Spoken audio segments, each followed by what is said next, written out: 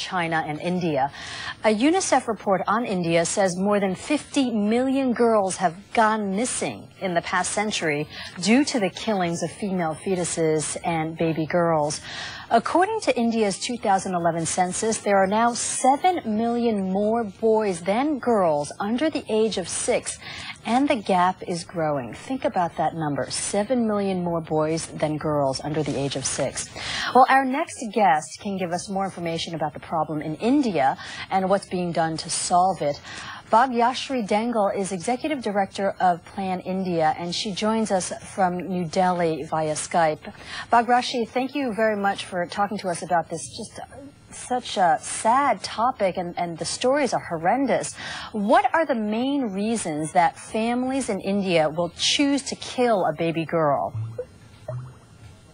Uh, it's all about primarily because of gender and the status of girl child you know, and there is a strong preference for a boy child in India because of because India is a patriarchal society. People believe that boys carry the family name forward. They have the right over the property. They also do the last rites. So it's to do with the status of girls and women in India. And girls are seen as a burden. It's seen as a property which belongs to somebody else. So people see that as a waste of money, investing in the, uh, you know, education of a girl, and then when a girl gets married, the, the families have to pay heavy dowry. So to uh, that is one of the reasons, yeah. Now, in Reza's piece that we just saw before we came to you, he mentioned that the nonprofit in Pakistan says the solution is increasing the literacy rate and eliminating poverty. Would you agree that that's the answer in India? And if so, how do you tackle those two huge problems?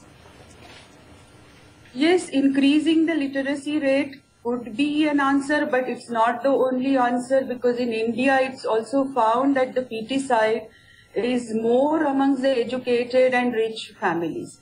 So education does not necessarily answer, uh, it's not a solution to this problem. There is a need to create attitudinal change, uh, send out positive messaging on girls and what plan is doing in India that we have integrated uh, gender sensitization as part of our adolescent training programs so that when they get married and when they have to choose, they are not selecting boys over girls.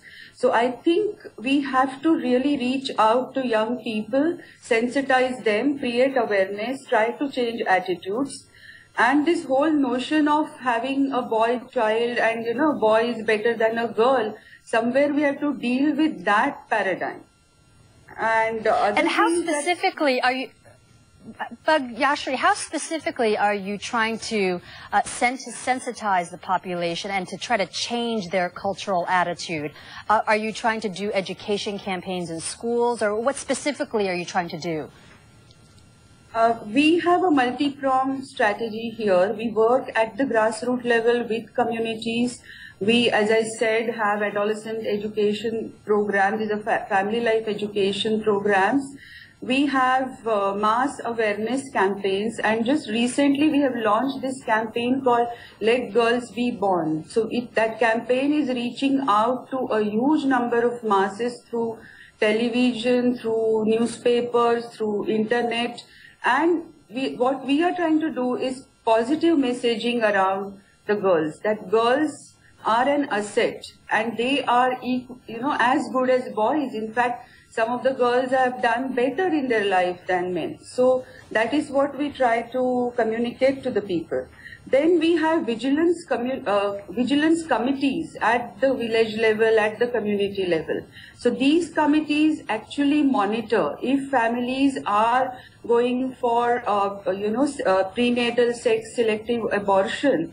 They try to report that to the government because it's a punishable offense. So the person who's conducting these tests can be imprisoned for three years or the person who's influencing uh, the woman to undergo this sex selection test, that influencer can be punished because India has an act now since 1991. So this is an offense to actually determine the sex of the child before birth. Okay, so there is a law on the books in India that forbids sex selection ultrasounds uh, for abortions. Uh, Bhagyashri Dengle, Executive Director of Plan India, thank you very much for bringing this topic to our attention. And stay with us. We'll have much more news when we come back.